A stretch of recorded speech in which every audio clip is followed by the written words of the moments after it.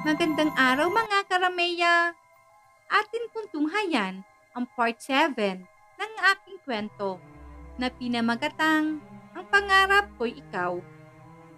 Pero kung bago ka pa lamang sa aking channel, ay pakilike po ng aking video at pakiclick po ng subscribe button, gayon din ang bell icon para palagi kayong updated sa paparating ko pang uploads.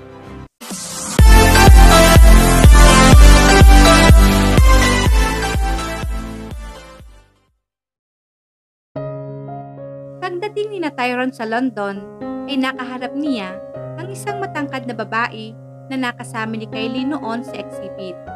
Natuklasan niyang Kara ang pangalan nito at ito ang head and technical and support staff na nakaalalay sa banda.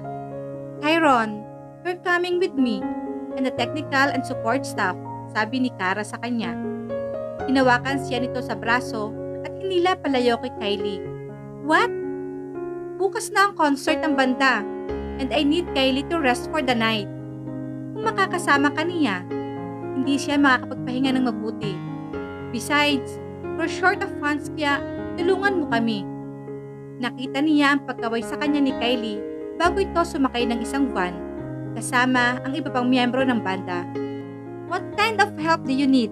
Tanong ni Tyron.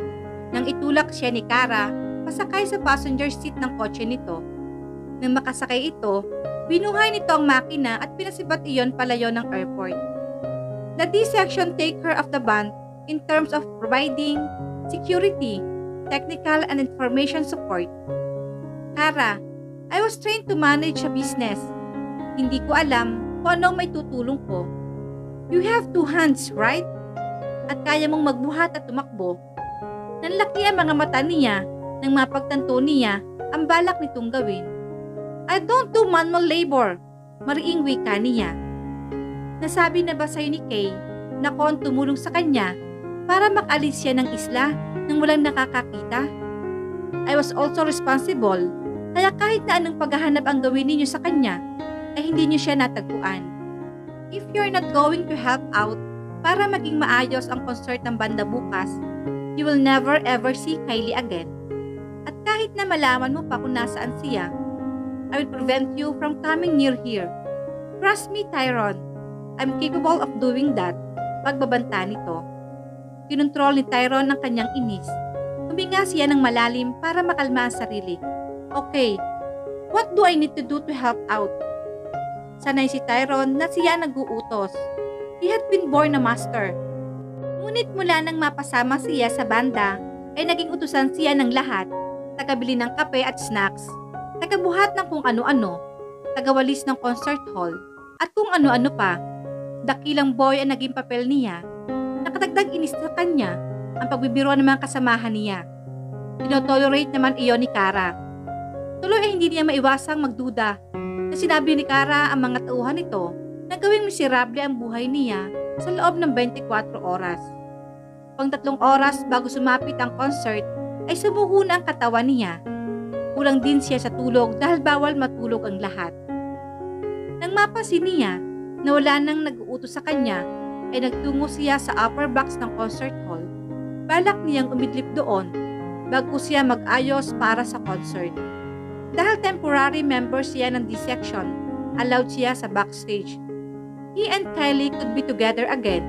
Ngunit saglit pa lang siya nakakapikit ang mga mata na ginambala siya ng isang boses. We need to have a serious talk, Tyron Brown. Dumilat siya at nakita niya si Carlo na nakatayo sa tabi niya. What now? Asik niya. Si Kay ang pag-uusapan natin, your relationship with her. Wala ka nang pakialam doon, wika niya. Okay.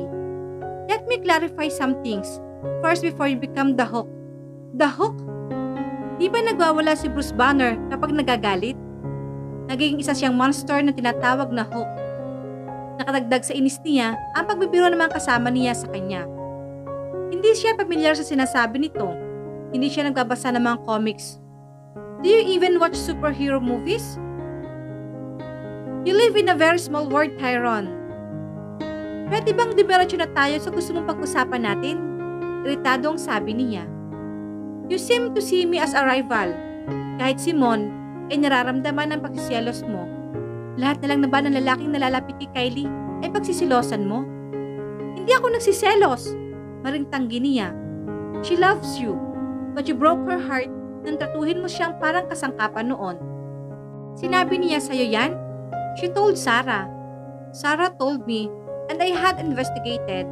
So, I know everything about you, Tyron. You're being unfair to Kay. Kung mahal niya ako, bakit patuloy niyan tinatanggihan ng alok kong nakasal? Gumuhit ang pagkabigla sa mukha nito. Tinanggihan ni Kaylee ang iyong proposal sa kanya? Every time. Kumawak ito sa baba nito, tila napaisip. I seem to have made a mistake in thinking that she still loves you. Mukha nakarecover na siya sa'yo. And you're now just a sex toy for her. Tumawa ito. Napatanga siya. Sorry sa pag-abala ko sa'yo. Mukhang kailangan pang hintayin ang pagdating ng right guy para kay Kylie. You know, dagay napakakasalan niya. Pagkasabi noon ay tumanakod na ito at naglakad palayo. Natanggal ang anumang antok niya. Napalitan iyon ng pag-alala. Baliwala ba talaga siya kay Kylie? Totoo ba sinasabi ni Carlo? Bakit siya naapektuhan ng mga sinabi nito? Ang anumang sama ng loob at pag-alaala ay nawala sa isip ni Tyrone nang mapanood niya ang concert ni na Kylie. Hindi iyon ang unang beses na nakapanood siya ng isang pop rock concert, ngunit ngayon lang siya nag-enjoy ng husto. Halos sa buong durasyon ng concert ay nakatutok ang mga mata niya kay Kylie. Nang tumugtog ang banda ni Kylie sa New York Stadium, ay hindi niya masyadong nabigyan pansin ng gitarist. Pero ngayon, ay dito lang nakatutok ang pansin niya. Kylie was good.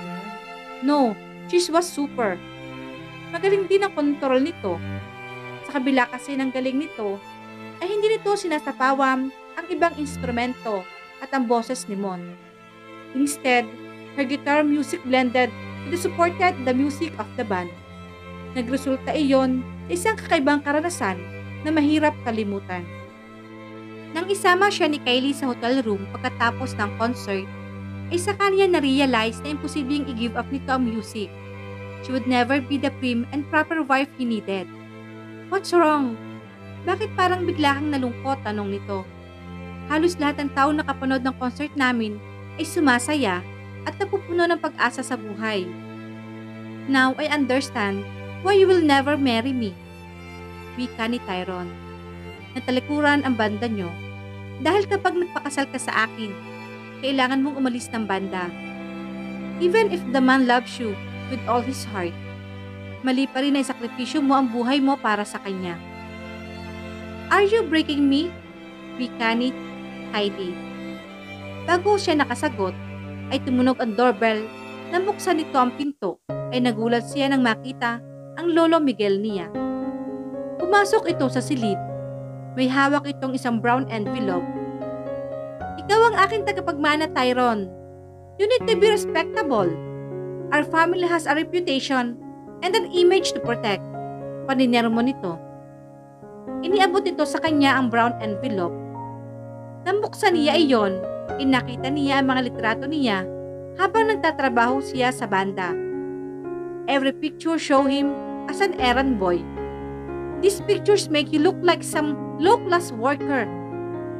Malakas ang kutob niyang si Carlo ang kumuha ng mga litrato at pinadala sa kanyang lolo. Dalawang linggo ka nang nawawala. Nitawag o balita mula sa iyo ay wala kaming natanggap. Pagpatuloy ng lolo niya. Tapos bigla ay matatanggap namin ang mga litratong iyan? Paano kung nakuha yan ng mga tabloid? Kaya nagagawin ka nilang katatawanan. What the bloody hell are you doing? Why are you with these people?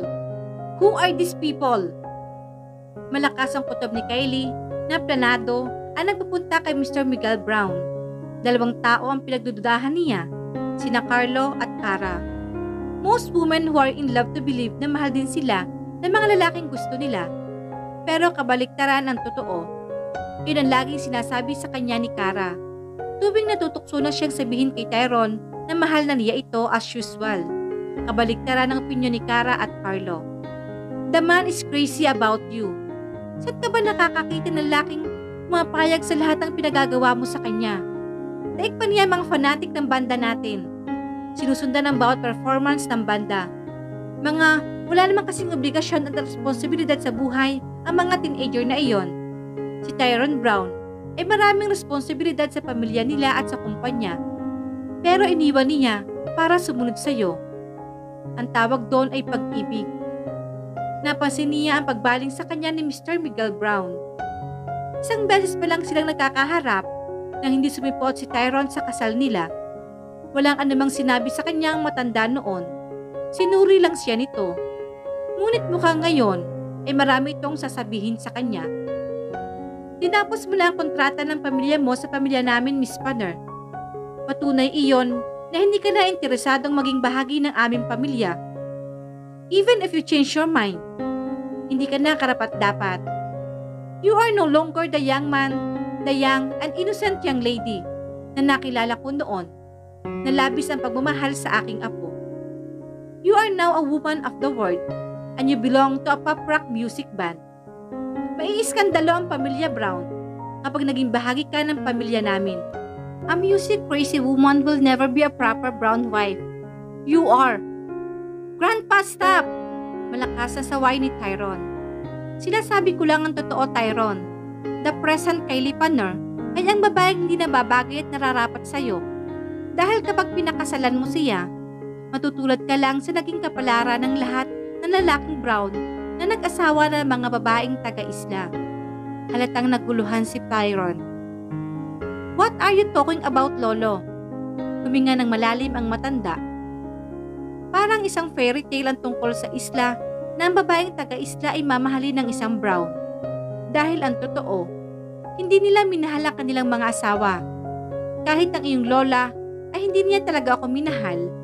Ang minahal niya ay ang pera at reputasyon ko. Ang taging nagmahal lang is Lola Melinda. Minahal niya ng tunay ang Lulo Lucio. When I sent your father to Isla, hindi lamang sila basta naghahanap ng babaeng magiging asawa mo. Kasama rin sa plano na dapat ay may ibig ng labi sa iyo ang iyong magiging asawa. Everything was going according to plan. But, we all know what happened then. Bumuntong hininga ito. Mukhang napagod ito. Stop this nonsense already, Tyrone. Kahit ano pa ang gawin mo, Kylie will never be the right wife for you. Our family will never accept what she has become. I don't want a prim and proper wife, Grandpa. Mariing wika ni Tyrone. Gusto ko siya kung ano man siya ngayon. Siguro, ang rason, kaya hindi kayo at ang iba pang brown, kaya hindi kayo minahal ng mga naging asawa ninyo, ay dahil ikinulong nyo sila at sinikil ang mga karapatan nila. But, I will never do that to Kylie. I will give her freedom to paint, to play her guitar, and even to jump and dance on a stage in front of thousands of people. Napatanga si Kylie. Walang binanggit na salitang love si Tyrone, but it was a very clear declaration of his love for her. Natutok uli sa kanya ang mga mata ng matanda. And you, young woman, would you accept a man like my grandson? In case you're thinking na kaya kanya sinundan at pilit na pinaibig ay dahil mahal ka niya, let me stop you from thinking the right now. Pagkatapos mo siyang ipahiya, sumumpa siya sa harap namin na paiibigin ka niya and that will become his wife no matter what. Ang aking apo ay may pagkamakulit. You know, wala na rin siyang balak na magmahal pa dahil kay Clarissa sa naging karanasan niya sa kanyang first love. Grandpa, please leave! Wika ni Tyrone.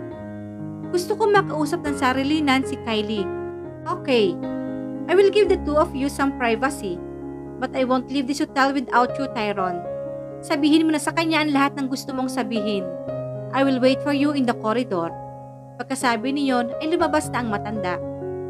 Nagtama ang mga paningin nila ni Tyrone.